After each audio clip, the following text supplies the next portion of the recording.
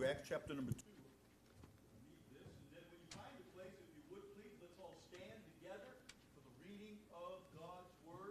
Acts chapter 2, Acts chapter 2, and we're going to begin in verse number 41.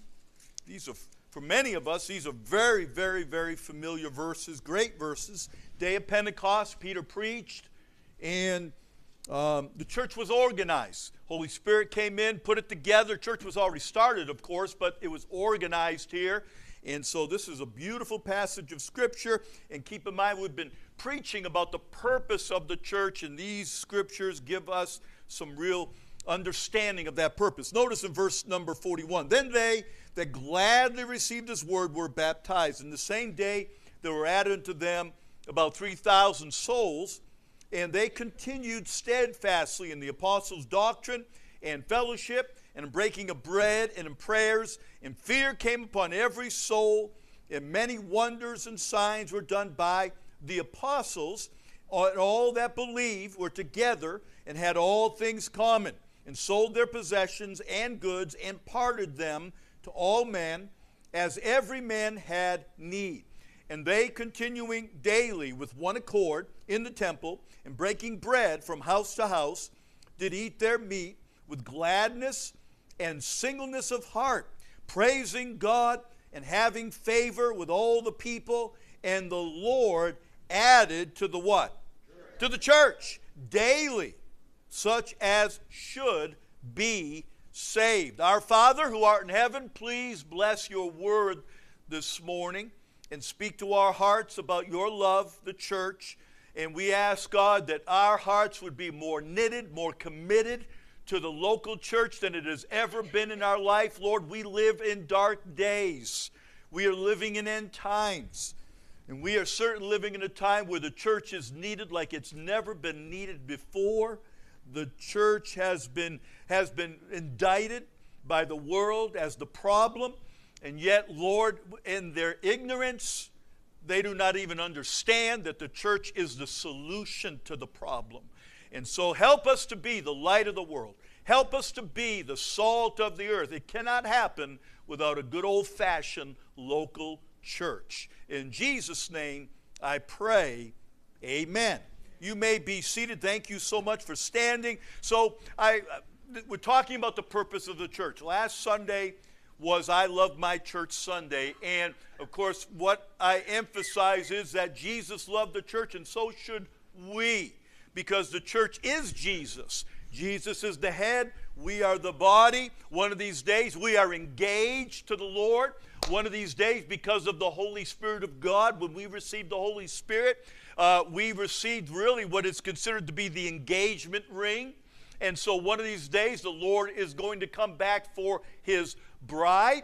We are the bride, and one day we will be taken out of this earth. Praise the Lord. Glory to God. Hallelujah and we'll be taken out and we will, uh, we will be gathered in the clouds and we'll meet the Lord in the air, and so shall we ever be with the Lord. Amen. And we're going to get married. There's going to be the marriage feast of the Lamb. And man, you say what's going to be there? Anything and everything. We won't have to worry about diets then. Praise God. Spaghetti be right in the middle of that table and meatballs and sausage and everything else that's good for you. Amen. So, looking forward to that, but till that time, we are the bride, we are the bride to be. And we need to be making sure that we are within the confines of the church. And the church really is that entity, that or not just an organization, but the organism that God has put in place for us to be a part of so that we can begin to develop our spiritual lives. Most people are saved through the church.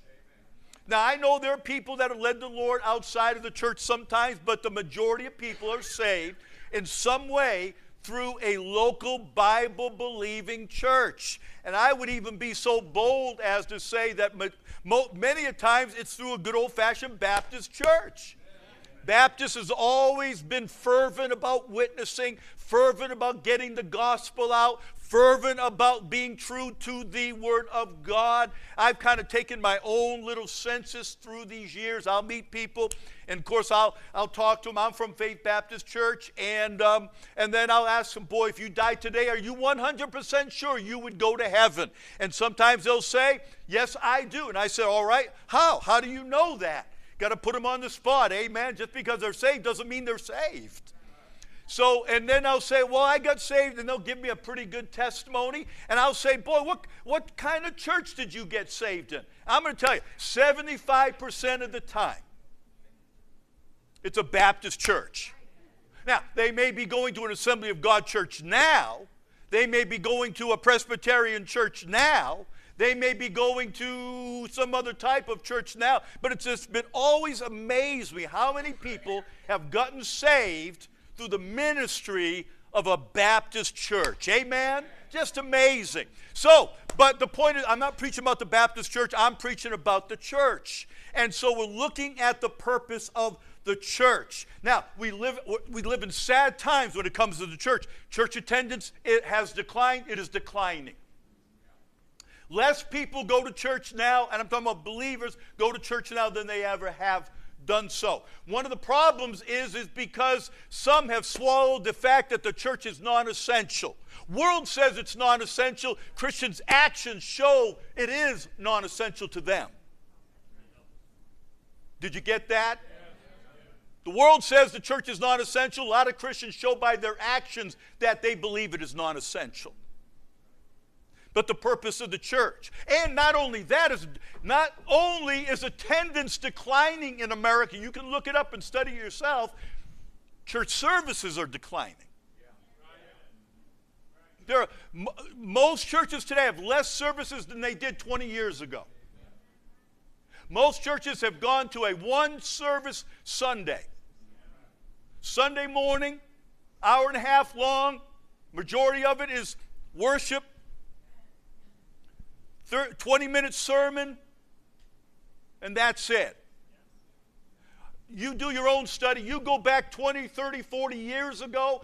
Most churches, and I'm not saying just Baptist, I'm talking Baptist, Presbyterian, Methodist, uh, Assembly of God, Southern Baptist, whatever the case may be, most of them had Sunday school, Sunday morning, Sunday night, Wednesday night being Bible study or prayer meeting. You, don't take my word for it, you check it out. Most churches had several services during the week. You say, why'd they do that? Because we need it. Amen. And they understood that. It's not less Bible, it's more Bible. It's not less church, it's more church. As we see the day approaching. And so, and, and, and by the way, it is the place where you put your family in to protect them. Look at the church. These four walls are a fortress to protect you and to keep you and to help you, hopefully, to raise your family the way you want to raise it according to the Word of God. We're just here to help you and to preach to you and teach you how you can do that. And so the church is vital. And as somebody has wisely said, as goes the church, so goes the family, and so goes the nation. Why in the world is the family in decline? It's because of their, people aren't going to church anymore. And believers aren't going to church anymore. They feel like they don't need it. They got other things they can do on Sunday. Family came, can't go to church. Birthday party, can't go to church. Tickets to the game, can't go to church. Last time I heard, the Bible says this is the Lord's day.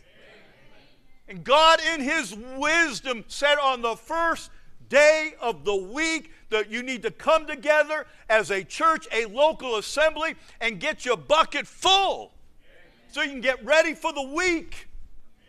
And then we a lot of churches decide we're going to have Wednesday. We need a stepping stone to Sunday. We need to get kind of revived even more on Wednesday. I'm a little fired up. Have you noticed that?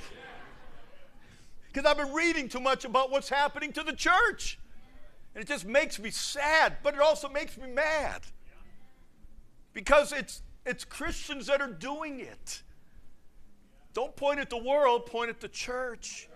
It's the church's fault why things are going the way they are. And we'll see that in a minute. I got to get going here. I said I was going to be done this Sunday. Forget it. By faith is on the back burner. It's cooking, though. Don't worry, it's still cooking. But we, we need to really focus in on the church. It is so important. So, we talked about the purpose of the church, and we said last week it is to help us to develop our spiritual life. You cannot grow as a Christian. I'm sorry, you can't grow as a Christian not being in church. You're not going to grow. Don't come to me after the service, try to tell me that's not true. It is true. That's why, right after they got saved, as we'll see in a minute, they were added to the church. They weren't added to some para uh, church ministry, they were added to the church. And that was, and they needed to be in the church because that's the body of Jesus Christ. So, we, first thing we learned is it helps us to develop our worship, our worship, our relationship with God. Bible talks about in Acts chapter 2 that they were break they would continue, continue, continued steadfastly in the apostles' doctrine, fellowship, breaking of bread, and in prayer. Prayer is helping you to develop your relationship to God. Then it says in verse number 47 they were praising God. Prayer and praise. They were praying, they were praising God. Why? Because they were in a church and they were developing their relationship with God. They were learning how to love God, and that is the first and biggest and most important thing. You've got to fall in love with Jesus. And that's what's missing in so many Christians. Love the Lord with all thy heart, with all thy soul, with all thy mind, with all thy strength. And that's the first thing that every Christian needs to focus on. Focus on Jesus. Focus on loving Jesus. I was eight, 19 years old when I got saved. And, um, and I got in church, and for the first year of my Christian life, I, I 19 years old, what, what does every 19 year old guy want? A girl. If you're normal, I'm going to stop right there if you're normal, but for the first year, I, I knew I didn't know anything about the Christian life. I knew I wasn't worthy to even have a relationship with any Christian girl. And I said, you know what, for a whole year, I'm not messing with a girl. I am going to I'm going to mess with God. And I took that year and I worked on my relationship. I worked on my service. I worked on being the kind of Christian I needed to be. And that's the first thing you need to develop is your love for the Lord. Develop your love for Him. But then number two, we'll get right into it here. The second thing is this: you need to develop to develop. Why do you need to be a part of a church? What's the purpose of the church? To develop my relationships. To develop my relationships. I can tell you where you are going as a child of God according to what your relationships are. Look at if you at Acts chapter 2, verse number 41. It says, Then they, we read it a moment ago, then they that gladly, which means they did it of their own free will, man, they were thrilled to death to get saved. It says, Then they that gladly received his word. What word? The word that Peter had preached. He preached the good old Old Testament salvation message. And the Bible says they repented, they trusted Jesus Christ as their Savior. And then look what it says, and they uh, gladly received His word. They got saved. Were, what's the next word? Baptized. So right after they got saved, they got baptized. Now, baptism has nothing to do with salvation. Amen? It is a public profession of your faith. If you don't get baptized, you're still going to heaven but it is a way that you publicly demonstrate that I am a child of God. And when you get into that water and you get in there and you go down and you come back up, it's a picture of the death, the burial, and the resurrection of Jesus Christ. And you're saying, that is what my faith is in. My faith is not in a church. My faith is not in a cross. It's in the death, the burial, and the resurrection of Jesus Christ. So that's why the same day, 3,000 people got baptized the same day. Man, you know, I was reading something. Where they get them baptized? Everywhere. Anywhere there was water, man, they were getting baptized all over the place. Why? Because they wanted everybody to know that we are trusting Jesus as our Savior. They were not ashamed of the Lord. Amen. And if you're saved and you have not been baptized, you need to do that next week. Amen. Get baptized. It's a public, and you'll never grow until you get baptized. You'll never grow. I got saved May 6, 1979. I didn't get baptized till the end of June because I got saved out of the Catholic Church. And for whatever reason, I was stubborn about baptism. I already got baptized. And I fought it for a while. It was my own little rebellion. But I finally realized I'm wrong. And I don't do that very often. And uh, I was, I'm wrong. And I told preacher, I said, Preacher, I'm sorry. You're right. I'm wrong. The Bible's right. I'm wrong. I'm going to get back. And, and, boy, I got to tell you, after I got baptized, Brother Tudor, I just started growing, man. I mean, good night. Just God was working in my life. But as long as I was stubborn enough to not do what God, once you stop obeying God, you stop growing. All right? Then, then look what it says. And, and, and, the same day they did it, the same day. Some people say, well, don't they need to come to church about three or four weeks? Same day. There were added unto them about 3,000 souls. So they got saved, they got baptized, they were added to the church. So that's the only thing it takes to become a member of the church. You got to get saved and you got to be baptized. Amen? Once you do that, you can be a member of the church. Now look at Acts chapter 2, verse number 42. And they, oh boy, and they continued steadfastly in the apostles' doctrine. And what's that next word? Fellowship. Look at Acts chapter 2, verse number 44. And all that believe, what, the, what is those next two words? Were together and had all things common. Look at Acts chapter 2, verse number 46. And they continuing daily, notice with what? With one accord in the temple and breaking bread from what? House to house, did eat their meat with gladness and singleness of heart. What happened? Well, they got into the church, and when they got into that church, they began to develop the right relationships in their life. They started building relationships within the confines of that church. They began to build relationships with other believers. They began to build relationships with people that are going in the same direction that they are going. People that want the same thing that they want. People that, that, that know the Lord like they knew the Lord. And so they began to develop these wonderful, wonderful relationships. The Bible says daily with one accord. So they did it with one mind, but that word accord also means with passion.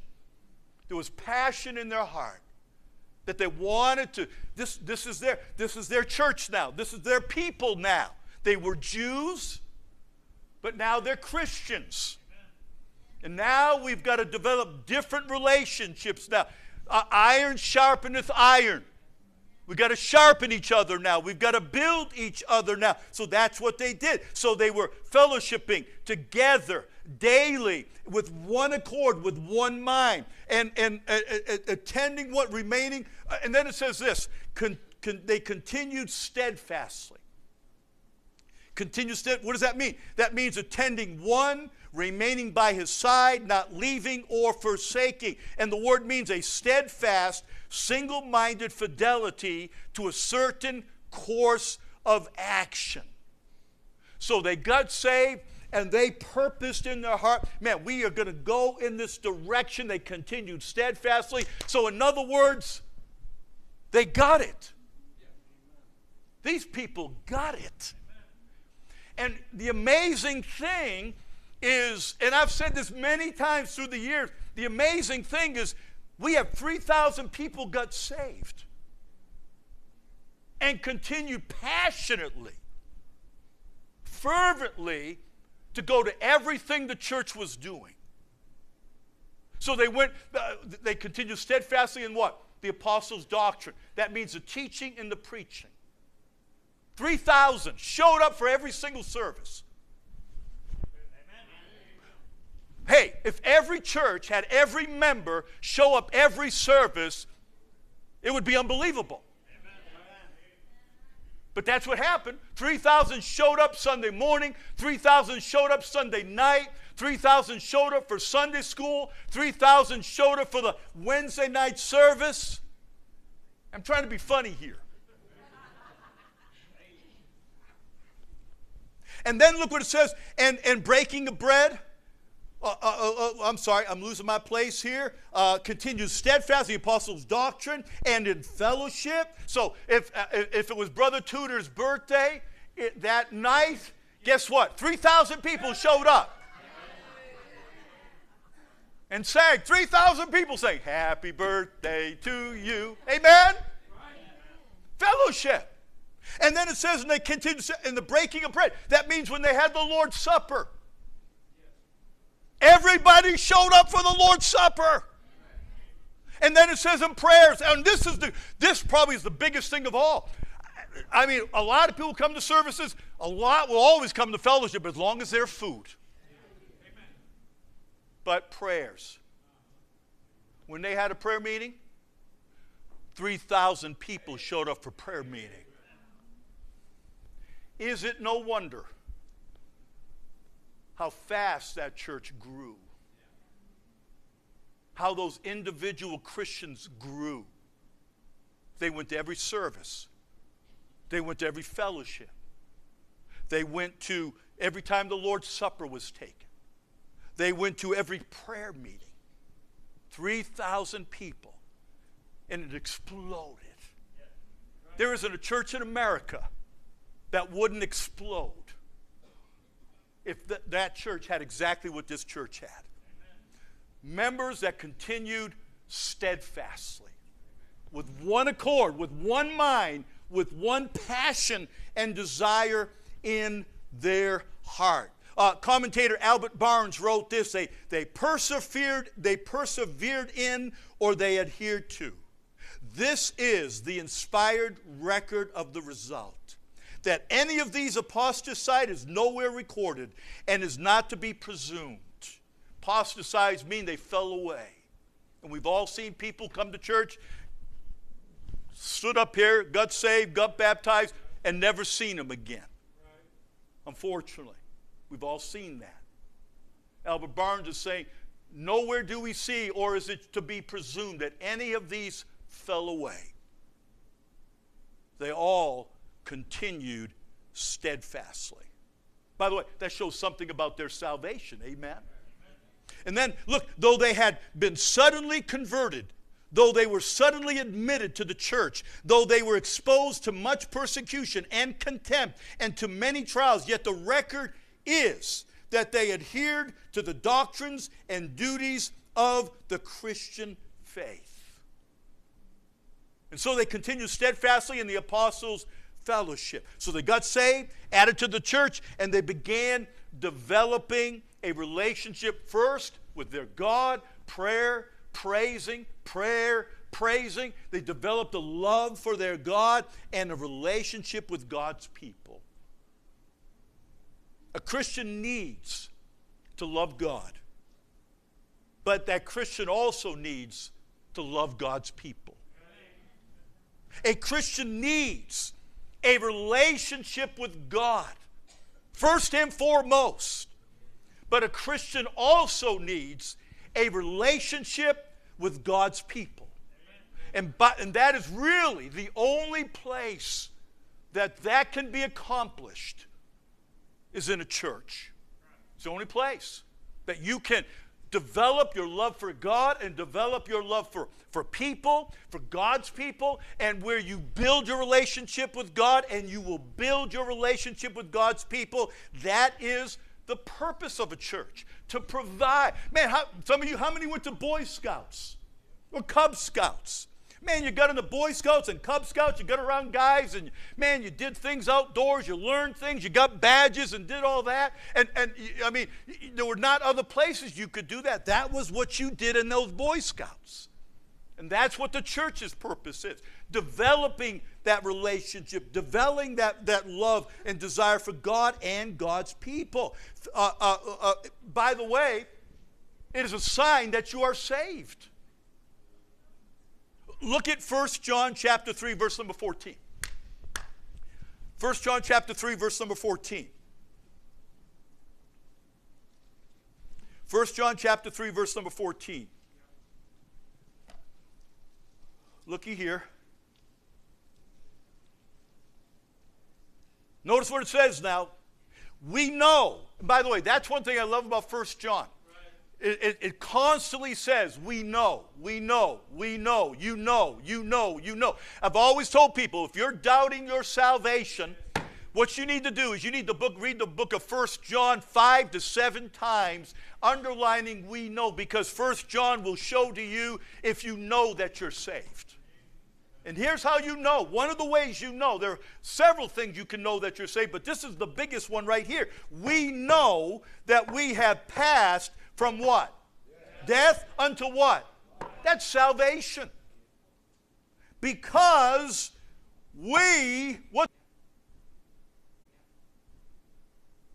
Do I need to explain that to anybody here? But look what it says. He that, what's the next word? Loveth. What's the next word? Not his brother abideth in what? Death that means you're not saved.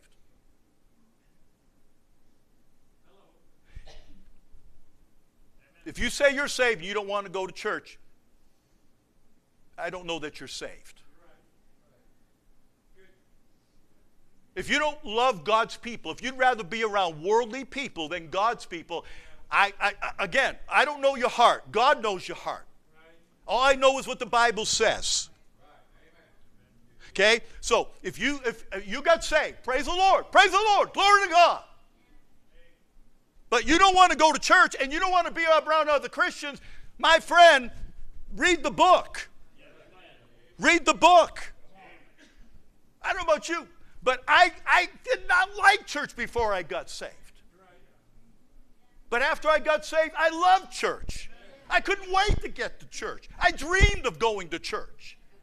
It was a longing of my heart. I was in the military, going out in the field, and man, I would think, man, I can't wait till Sunday to get to church. Amen. Actually, Saturday to get to church and go out, go door knocking and visiting and things. I couldn't wait to go to church. Wednesday, I couldn't wait. Man, I get to go to church tonight. And I'm not kidding. That's the way I felt. You say, Pastor, you're trying to get me to doubt my salvation. Only if it's true. Only if it's true. You got to ask yourself, why don't I want to go to church? Why do I have to fight to get to church all the time? Now, it could be you're saved and you're in sin, and that would definitely take away your desire to go to church. But it's one or the other. It's one or the other. That's what he said. So if you if you love God's people, then that's evidence that you are saved.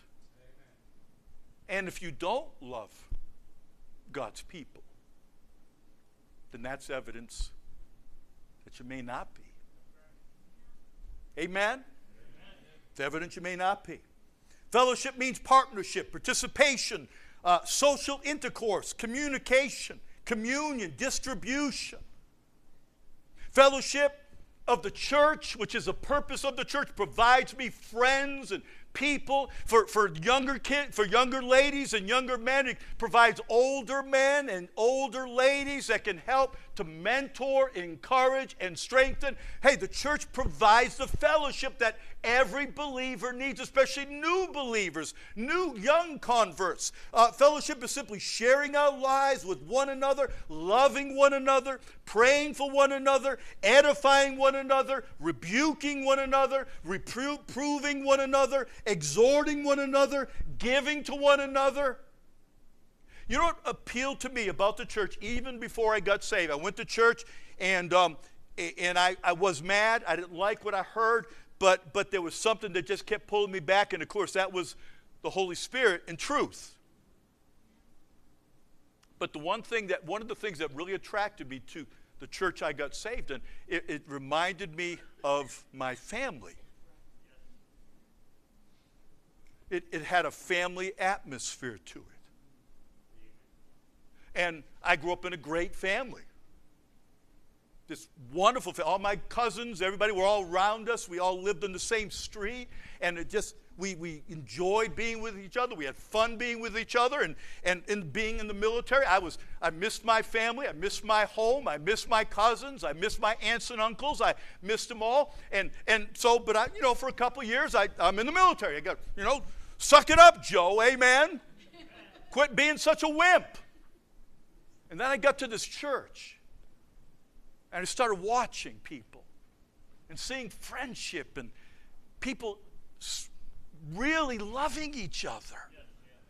And I thought, I, I went to a, a, church before that, but I never saw that in that church. Pretty much the church I went to before I was saved, uh, you walk in, you sat down, you, you up and down every once in a while. And then you went home. I didn't know anybody in the church skate down the aisles because it was cold. And I'm not talking about temperature. There wasn't love there. There wasn't like people wanted to build relationship. There wasn't anybody standing at the door and say, "Man, it's so good to have you here today." You go to the door and you felt all of a sudden you felt cold because it wasn't any kind of a family relationship there. But then I got to the West Coast Baptist Church in Vista, California, and I saw these people, and they were kind and gracious. I wasn't saved. I didn't. I would definitely look different than I look now.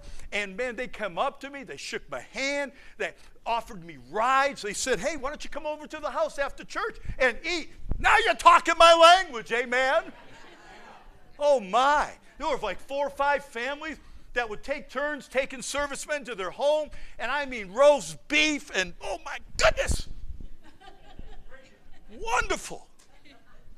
And I just felt like it was a family. And then after I got saved, then it really it became my family. They were truly my brothers and my sisters. And the older one became like my mother or the older men like my father. And they encouraged me and strengthened me. Being a born again believer and a member of a church is like being a part of a family. And you need to treat it like a family. Sunday school, we meet as a family. Sunday morning, we meet as a family. Sunday night, we meet as a family. Tonight after church, we'll have birthday party with Brother Tudor like a family does. What, why do we go to church? What's the purpose of the church? To develop our worship of God, but to develop our relationship. Because relationships have a big part in your spiritual growth, and your maturity. It just makes sense. We have the same salvation, the same Lord, the same Holy Spirit, the same power living and surging in our lives. We're all going to heaven. We're going to spend eternity together. Just make sure this is where I want to be.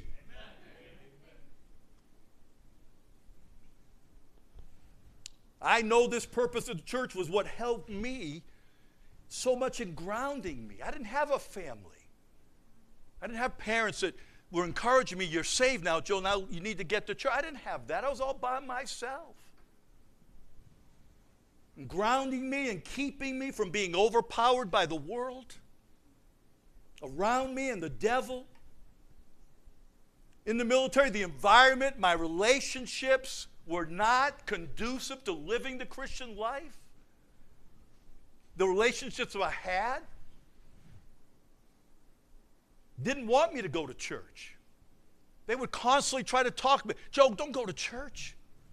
Come on, go out with us this Sunday. We're going here, we're going there. Constantly not wanting me to live for God, constantly fighting me, tempting me. I remember we were, uh, I lived out in Oceanside, and, and we had a condominium right down there in Oceanside, right on the beach there. And, and so we drive in every day, and um, there'd be two in the front, three in the back. And I remember that Sunday night, Pastor preached amazing message. And, and I remember I just, boy, I just really made some decisions that night. Well, man, you know, and the funny thing is, after I got saved, the pressure became even greater and the attacks greater and more. I, I, mean, I could stand here for an hour and tell you, man, things started happening in life that never would have happened before. And it was the devil. He wanted to take me down. And that's one of the reasons why I couldn't wait to get to church. But they, they didn't want me to live for God. And devil used them in every way he could to try to stop me. I remember we're in the car, and if you know, if any of you have been to Camp Pendleton, you know you go through the gate, but you still have usually 25 minutes to get to your camp there in, in Camp Pendleton, or several camps within Camp Pendleton. And so we're going, and all of a sudden somebody takes out a, a, a joint, a marijuana cigarette, and lights it, light, lights it.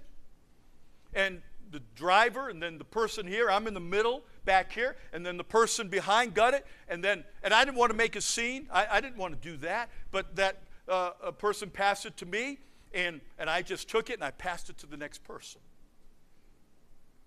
And then all of a sudden somebody said, said why didn't you take, take some? I said, well, I, I don't want to. Well, why don't you want to? I said, I just, I just don't want to. He said, It's going to church, huh? I said, What do you mean? Amen. He said, But ever since you started going to church, he said, You're it's like you don't like us anymore. And that wasn't truth. I, I was changing. Right. And they said, what, what, what, do you, what do you think? You think you're better than us? I said, Absolutely not. I know I'm not better than you. I said, I just don't want to do it. I made a decision this Sunday and I, I, I told Lord, I'm not going to do this ever again, Lord. And so they said, Well, okay, if, if you don't want to be with us anymore, then, then what, you just ought to just get out of this car. And so they stopped the car in the middle of nowhere. And he got out and opened, obviously opened the door and said, All right, get out. And I said, All right, I will. And I got out. And they, he got back in and shut the door, and they drive off. And they left me. I had to walk all the way to work. But I walked with a smile. Because you know what? Because I knew I had done what was right. I took a stand against those that were trying to take me down. And by the way, never hung around those guys again. By the way, they didn't want to hang around me anyways. They want nothing to do with me anymore. I was a square, amen, and was happy to be one. What am I saying? I am saying that I found out very quickly what good things God was doing in my life was usually lost quickly because of the relationships I had outside of the church. And I learned very quickly I needed to establish, I needed to develop new relationships and that's what that church did for me. It was that's what the church is for. The church is designed to help you to get new friends, new relationship that's going to help you to grow in the Lord. Amen. Look, real quick here. Look at uh, uh, look at 2 Corinthians chapter 6 verse 14. It's only six minutes after 12. I usually get done at 12, so give me about 10 more minutes, okay? All in favor say aye. aye. Anybody opposed? It is so carried.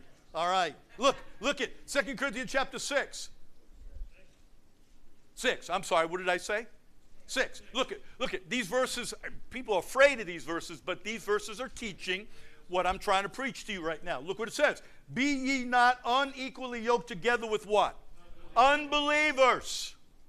Now, that principle is taken from the book of Deuteronomy, chapter number 22, where the law was that the Jews could not, the Israel could not yoke up an ox with a, with a, with a horse. They could not hook up two different, yoke up two different animals. And so they could not be unequally yoked. So here's what he's saying He's saying, don't be unequally yoked up with somebody who is an unbeliever. Typically, this is used concerning marriage. In other words, a, a, an unsaved, a, a saved young man shouldn't marry an unsaved young lady. And a young unsa- a saved young lady shouldn't marry a unsaved young man. Amen? That's what he's saying. Or business. That could be used in business. Or it could be used just simply in your relationship. But you should not yoke up with people who are unbelievers because they are going to influence you in the wrong way. That's why, again, that's why God gave us the church. That was the purpose of the church. So you don't need the friends out there anymore. You need to build relationships within that church so you can grow, mature, and be what Jesus wants you to be. Does that mean that you are to uh, not help people that are unsaved or never get around people that are unsaved? Absolutely not. I don't have time, but I can show you that God wants you to be around those that are unsaved, and so you can influence them to get saved. But look what he says. Does that make sense to everybody? Amen. For what fellowship hath righteousness with unrighteousness or lawlessness? And what communion hath light with darkness? And these are all rhetorical questions. We already know the answer. And what concord or agreement hath Christ with Belial? Belial is the devil. I mean, what agreement does Christ and the devil have? None.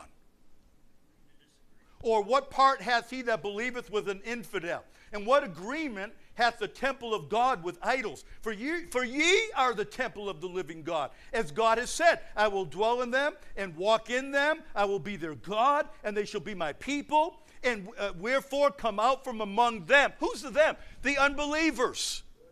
He's, he's not saying that you don't ever, you guys, guys you work with and they're unsaved. That doesn't mean you shun them. No, that'd be the dumbest thing. No, befriend them, uh, be gracious to them, talk to them, but you do it for the purpose of trying to help them to know the Lord, to get saved. But those guys that you work with who are unsaved and doing wrong things, you ought not go out with them after, after work. You ought not go places with them in the weekend.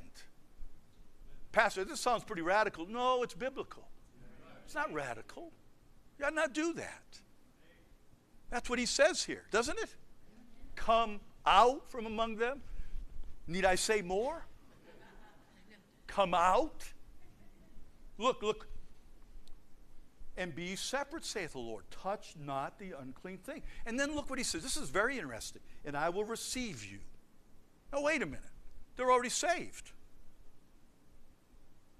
So what's he saying? Well, look. And will be a what? A father unto you. And ye shall be my sons and daughters, saith the Lord Almighty. See, there is a spiritual benefit when you come out from the wrong influences in your life and you begin to see your life more in tune with what the Bible teaches, and you start to become a good Christian, living for the Lord, loving the Lord, then, okay, how many here did something wrong one time? Your dad, and, and, and your dad was kind of upset at you, and your mother was upset at you, and for a while there, you just felt like there wasn't a very good relationship there. Anybody ever felt like that? Well, more than once. Yeah, I believe that with you, Brother Bixby. Now, now l- listen to me. It wasn't till maybe you, maybe your dad said, you go to the room and you think about what you did and you come back to me when you're ready to apologize. Now, during that time, you weren't ready to apologize. That, that wasn't a really close relationship. But boy, once you were willing to apologize and go to dad said, Dad, I'm sorry. And son, that's, that's all I wanted to hear. Hey, let's go out and get an ice cream. Let's go fishing. Amen? When you build the right relationships that help you to be a better Christian, you know what it helps you? It helps you to build a more intimate relationship with God. God says, I want to be like a father to you. I want to treat you like you're my son and like you're my daughter.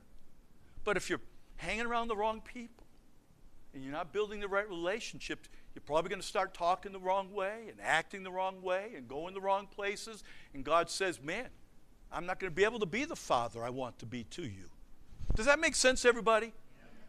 That's what God wants. That's why the church is so important. It helps to build that in our lives. It supplies It applies to any relationship in this world that influences us. And when we join the church, we get around these wonderful believers who help us to be the Christian God wants us to be. The principle is this we are to be in the world, but not of the world. In other words, we're, we're, supposed, we're supposed to be in the ship, but uh, uh, uh, on top of the water, we don't want the water in the ship. And that's what the Christian life is about being godly, having a loving relationship with the Lord, having a godly relationship with other people who are going in the same direction, and not hang, being around people that are going to influence me in the wrong way. Man, I'm so glad that I got saved in a church where people loved me, reached out to me, and helped me and encouraged me to be a man of God. And that's what the purpose of the church is. Amen? And oh, my soul, to, if you don't come to church on a consistent basis, you're going to struggle in your life, especially if you have the wrong kind of friends and relationships outside of the church. Let's bow for prayer. Our Father, we thank you, Lord, that you have a wonderful purpose for the church to develop our love for you, our relationship with you, but also to develop our relationship with other believers. And thank you for a place that we can come and we have people who are like faith, and like mind, and going in the right, right, same direction. And Lord, we can just help and challenge and encourage each other. Now, heads bowed, our eyes are closed. I wonder if there's anybody here this morning that you have not yet received the Lord Jesus Christ as your Savior. You have not truly been born again. Maybe the Holy Spirit spoke to your heart and said, You know what? You're not saved, and you need to get saved. And if that is your case, then guess what? You can get saved right now. You can receive the Lord Jesus Christ right now. You don't need a special service or a special time. Now is the time. Today is the day of salvation for you, and you can come and get that taken care of today. Is there anybody that say, Pastor, I'm not saved? I know I'm not saved, but I want to be saved. I want to know that when I die, I'm going to go to heaven. Would you lift your hand up good and high? Pastor, that's my need this morning. All right? Then, secondly, I wonder this morning, you'd say, you're a child of God, you know you're saved, but you'd say, you know what, Pastor? I am not coming to church like I should and developing the right relationships like I know I should. And God has convicted me about that. I need to be more faithful to church. I need to be more steadfast in the church. Continue steadfastly because I want for me, I want for my spouse, maybe, I want for my children, maybe. I want to have the right relationships, sharpening and encouraging and building our lives so we can live for God like we know we should. Is there anybody say, Pastor, that's my need this morning? God spoke to my heart about that. Would you pray for me? Would you lift up your hand good and high and say, Pastor, that's my need? Amen. Boy, I've been there. And you can lower your hand. And by the way, it is still the case for me. Man, if I got out of church and I started hanging around the wrong people, I guarantee you this preacher would probably start doing the wrong things also. You don't just, for early years, need the church. You need the church from the day you get saved to the day you leave this planet because you constantly need good relationships in your life to build your life. Now, Father, you saw those hands, and please, Lord, help them to follow through with what that hand meant when they raised it.